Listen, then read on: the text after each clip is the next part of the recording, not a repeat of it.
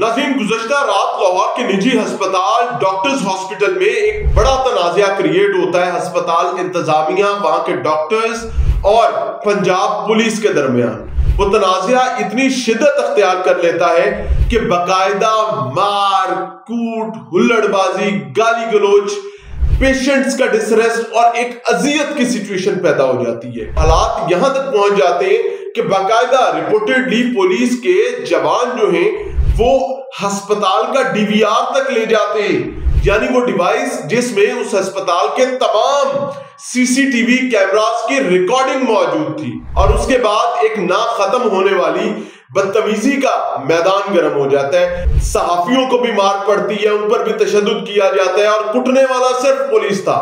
मार खाने वालों में डॉक्टर्स भी थे, सहाफी भी थे और बहुत सारी अजियत की सिचुएशन वहाँ पर मौजूद पेशेंट्स के लिए होती है। इसके अंदर की कहानी क्या है, दोनों तरफ़ का मौकफ क्या है, वो आपके सामने रखने जा रहा हूँ। असलम नाजीन मुझे भी इमरान अरशद कहते हैं और आपका मशहूर हूँ कि आपने खसूसी तौर पर वक्त निकाला ये वीडियो देखने के लिए। आप तमाम लोग जानते हैं कि लाहौर के निजी अस्पतालों में एक मारूफ तरीन अस्पताल डॉक्टर्स हॉस्पिटल है और डॉक्टर्स हॉस्पिटल एक महँगा अस्पताल है। यहाँ इलाज ऑब्वियसली महँगा है, सहूलियात अच्छी हैं और उस वजह से यहाँ पर इलाज करवाना एक VVIP very very important person वाली कहानी समझी जाती है। तो इस अस्पताल में पिछले कुछ अयाम से, तकरीबन 20 एक दिन से, एक साहब जो है, वो वेंटिलेटर पर हैं। अलील हैं। सबसे पहले तो अल्लाह ताला उनके लिए आफियत का मामला फरमाए, उनको सेहत के साथ ज़िंदगी की तरफ़ वापस लौटा है। और अगर इस तरीके से नहीं है तो भी अल्लाह ताला उनके लिए आफियत के दरवाजे खोले और उनको कोई तकलीफ़, परेशानी ना आने दे। अब प्रॉब्लम ये होती है कि हमारी इतलात के मुताबिक ये साहब जो हैं, ये वालिद मुहतरम हैं। पुलिस के एक जिम्मेदार, तरीन अफसर के, जिनका नाम कैप्टन रिटायर्ड लियाकत अली मलिक है।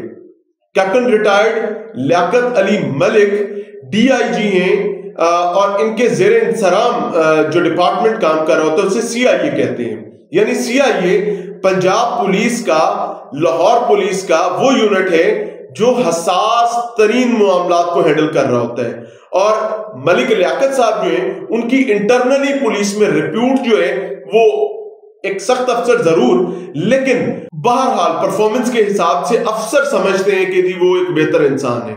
हमारा इख्तलाफ हो सकता है, हमारी राय मुख्तलिफ़ हो सकती है, लेकिन चूँकि मैं आज अपनी राय नहीं देने आया, होता यूँ है कि उनके वालिद साहब वहाँ पर जेर इलाज थे। उनके वालिद का इलाज पिछले तकरीबन 20 एक अयाम से हमारी इतलात के मुताबिक चल रहा था। अब होता कुछ हुए, चूँकि वो वेंटिलेटर पर हैं और सिचुएशन बहुत क्रिटिकल है, अल्लाह ताला उनकी जान की, ईमान की हिफाजत फरमाए, पैनिक कर जाया करते हैं लवाहिकीन। बिल्कुल वैसे, जैसे आम लोग पैनिक हो जाते हैं, बिल्कुल ऐसे ही पैनिक हुए इस दफ़ा मलिक लियाकत साहब। और मामला आया है लेन देन से। मलिक लियाकत साहब के वालिद के ट्रीटमेंट के हवाले से ऑब्वियसली ऑन एंड ऑफ़ वक्तन फवक्तन उनको बिल्स दिए जाते रहे और वो पे भी करते रहे इसी तरीके से एक बिल अब फिर दिया गया था और उस बिल को पे करने पर तनाज़ा खड़ा हो गया। हमारी इतलात के मुताबिक मलिक लियाकत साहब और उनकी फैमिली जो है, वो इस्तराब में और ये इस्तराब समझ भी आते हैं। लेकिन इसको डिफेंड इस वजह से नहीं किया जा सकता कि जब आम आदमी इस इस्तराब में होता है तो कहानी बिल्कुल मुख्तलिफ़ होती है, उस पर पर्चे किए जाते हैं, उसको मारा पीटा जाता है, उसको बंदर बना दिया जाता है। लेकिन जब पुलिस के काला अफसर की फैमिली इस तरह में होती है तो पुलिस डॉक्टर्स को मार मार के बंदर बना देती है। अस्पताल इंतजामिया का कचूमर निकाल देती है। अब जो तनाज़ा क्रिएट होता है, वो एक रिपोर्ट आनी थी, जिसको बाकायदा एक डॉक्टर ने देखना था और उसके बाद वो रिपोर्ट फाइनल होनी थी। पूछा जाता है कि ये रिपोर्ट क्यों नहीं आई? रिपोर्ट डिले थी और उस रिपोर्ट में रेडियोलॉजिस्ट की हमारी इतलात के मुताबिक ईईजी e की वो रिपोर्ट थी और ईईजी e की रिपोर्ट को जब तक रेडियोलॉजिस्ट नहीं देखता, वो आ नहीं सकती। तो रेडियोलॉजिस्ट की जानब से वो रिपोर्ट कुछ देर के लिए रोकी गई हुई थी और उसका ऑब्वियसली एक ड्यू प्रोसीजर है, जिसके बाद उसने आना था। अब उस रिपोर्ट को लेकर और उसके साथ साथ जैसे इनको बिल दिया गया अस्पताल इंतजामी और डॉक्टर्स के मुताबिक तो मौसूफ जो है वो गुस्सा कर गए और गुस्सा ही नहीं किया, बल्कि बात तू तू मैं मैं पर आ गई। इसके साथ बिल्कुल एक नैरेटिव दूसरा भी है, वो भी आपके सामने रखेंगे। बात तू तू मैं मैं पर आती है तो डॉक्टर्स के मुताबिक मलिक लियाकत साहब अपने जवानों को बुलाते हैं और जवानों को बुलाते हैं और वहाँ पर झगड़ा शुरू हो जाता है। अब एक पुलिस का कल्चर है कि जब अफसर के साथ कोई शख्स ऐसी बात करता है, जो बात उसको पसंद नहीं आ रही तो फौरी तौर पर एक जवान आता है, आपके सीने पर हाथ रखता है और आपको पीछे धक्का देता है। चल पीछे तुम नहीं पता। अच्छा अब ये एपिसोड्स जब हॉस्पिटल में जो है रिपीट हुई तो इस पर रिएक्शन आ गया। और रिएक्शन ऐसा आया कि वो डॉक्टर्स थे, वहाँ पर पैरामेडिकल स्टाफ था, वहाँ पर अस्पताल इंतजामिया थी, वो कोई आम आदमी नहीं थे, आम शहरी नहीं थे, जिनको आप धक्का मारेंगे और वो कुछ नहीं कहेंगे। और वो कहेंगे, जी साहब, जहाँ पर जान के मान पाऊँ तो जैसे आपका दिल करे वैसा कर ले। इख्तलाफ शुरू हो गया, इख्तलाफ खड्डे में बदल गया, पुलिस ने कुट लगाई, टिका के कुट लगाई। लेकिन इससे पहले एक कहानी होती है डॉक्टर्स ये कहते हैं, ये इस पर ये क्वालिफाइड नहीं है। डॉक्टर्स की जानब से जो मेरे साथ बात हुई है टेलीफोन पर, उसके मुताबिक चूँकि इनके वालिद एक तवील अरसे से कई दिन से यहाँ पर हॉस्पिटलाइज थे तो एक वीआईपी शख्स थे और पूरे अस्पताल को पता था कि ये वीवीआईपी पेशेंट है। तो वीवीआईपी पेशेंट को थोड़ा सा प्रोटोकॉल हमारे यहाँ कल्चर है, उसको आम पेशेंट से ज़्यादा डिफरेंट तरीके से ट्रीट किया जाता है। पेशेंट कोई नहीं, उसके लवाहिकीन को भी, उसके वरसा को भी, उसके अटेंडेंट्स को भी एक इल्ज़ाम लगाया गया है डॉक्टर्स की जानब से कि पिछले कुछ दिनों से इनका स्टाफ वहाँ पर नर्सेज और वहाँ पर मौजूद फीमेल स्टाफ के साथ छेड़खानी और बदतमीजी में भी मुलविस थे। और ये सिचुएशन ट्रिगर अब हुई थी। अब होता कुछ यूँ है कि जब ये सिचुएशन ट्रिगर होती है तो पिछला, अगला, इधर का, उधर का सारा मलबा इकट्ठा होकर वहाँ पर पहुँच जाता है। जो वीडियोस हमारे पास मौजूद हैं, वो मोबाइल से बनी हुई हैं। उन वीडियोस में मलिक लियाकत अली साहब खुद मौजूद हैं और एक लाहौर के बदनामे जमाना तरीन अफसर जो हैं, वो भी मारधाड़ में शामिल नज़र आए हैं। अब आ जाता हूँ दूसरी तरफ़, जो कि अच्छा इसमें डीवीआर जा चुकी हैं, ये बात याद रखें। अब मैं आ जाता हूँ दूसरी तरफ़। दूसरी तरफ़ का मौकफ कुछ इस तरह से जो कि पुलिस की जानब से सामने आ रहा है। पुलिस ने डायरेक्ट मौकफ नहीं दिया कोई भी, लेकिन डिजिटल मीडिया पर पुलिस की जानब से पुलिस के लोगों की जानब से एक कैंपेन चलाई जा रही है कि ये लोग डॉक्टर्स एक माफिया हैं जो लोगों को लूटते हैं। डॉक्टर्स अस्पताल एक अरसे से लोगों को लूटता आ रहे हैं। तो उनके खिलाफ आवाज़ बुलंद करने वाले महान शख्सियत जो है, उनका नाम है कैप्टन रिटायर्ड लियाकत अली मलिक साहब। उन्होंने उनके खिलाफ आवाज़ बुलंद की। वो वहाँ मौके पर पहुँचे, क्योंकि वहाँ पर एक बच्ची जो है, उसको भी वेंटिलेटर पर मुर्दा बच्ची को रख के तो उसके इलाज के नाम पर पैसे बटोरे जा रहे थे। तो उस कहानी में ये किसी ने नहीं बताया कि भाई, मलिक लियाकत साहब के अपने वालिद साहब वहाँ पर जेर इलाज है। ये नहीं बताया किसी ने। अब इस किस्म का एक नैरेटिव बिल्ड किया जाता है, और उस नैरेटिव के मुताबिक मलिक लियाकत अली साहब वहाँ पर जहाद करने गए थे। उन्होंने उस जहाज़ में डॉक्टर्स की इस जो बेरहम अंदाज में लूट मार का मामला है, उसके खिलाफ बात करने का फैसला किया। वो वहाँ पर पहुँचे इंसाफ फराहम करने के लिए। तो इवेंचुअली डॉक्टर्स उन पर टूट पड़े और टूट पड़े। मेरे भाई, वो पंजाबी की मिसाल है, कमला गल करे तो सियाणा क्यास करे। हम एक तवील अरसे से ये बात कह रहे हैं, जिस तन लग, जिस तन लागे, सो ही जाने और ना जाने कोई। मलिक लियाकत साहब की अजियत तकलीफ़ ठीक है। उनका रिएक्शन नज़र आता है अगेंस्ट लॉ है, लेकिन वो नेचुरल रिएक्शन है। भाई, हम तो एक अरसे से कह रहे हैं कि अस्पतालों के मामला में जिस तरीके से बदनजमी, खासतौर पे प्राइवेट हॉस्पिटल्स में लूट मार का मामला चलता है, खुदा के लिए इसको देखें। उस टाइम पता क्या कहा जाता है? तना लेके जाओ। आपको नहीं पता डॉक्टर्स हॉस्पिटल महँगा है? आपको नहीं पता जैद बकर फलाना टिंगड़ा अस्पताल महँगा है, क्यों लेके जाते हो वहाँ पेशेंट फिर हमें यह बात कही जाती है कि ले जाओ सरकारी अस्पताल में अपना पेशेंट और फिर अगर किसी हॉस्पिटल में किसी इंडिविजुअल की या आम आदमी की कोई तब कलामी हो जाती है तो कानून के मुताबिक अगर वो मोबाइल निकालकर छोटा सा भी क्लिप बनाएगा तो यही पुलिस उस पर पर्चा दे देगी। पर्चा देकर उसको निशान इबरत बना देगी वो चिल्ड्रन अस्पताल में एक वाक्य हुआ था। एक डॉक्टर के साथ, वो भी एक पुलिस एहलकार था। उसने थोड़ी सी बदतमीजी की, बल्कि शदीद बदतमीजी की। वो अपने बच्चों के जनाजे में शामिल नहीं हो सका। लेकिन चूँकि ये पुलिस एहलकार थे और बड़े अफसर थे तो पुलिस कुट भी लगाएगी। हम तो अरसे से कह रहे हैं, भाई मामला को ठीक करने की ज़रूरत है। दूसरी बात, अब मैं आता हूँ पुलिस की तरफ़। मेरे भाइयों, आप कानून के अमीन हैं। आप इंसाफ फराहम करने वाले हैं। नहीं भाई। मुझे माफ़ कर देना। आप सिर्फ़ ताकत इस्तेमाल करने वाले लोग हैं और ये मुल्क बड़ी बदकिस्मती के साथ, मैं अल्लाह से डर के ये बात कह रहा हूँ कि जिसकी लाठी उसकी भैंस के निज़ाम पर चल रही है।